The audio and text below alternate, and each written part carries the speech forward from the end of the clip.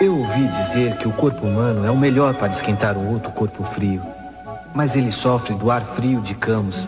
Não creio que isso funcione. No entanto, o único jeito é maximizar o meu cosmo e esquentar yoga com o calor do meu corpo e da minha energia. Embora isso possa me custar a vida.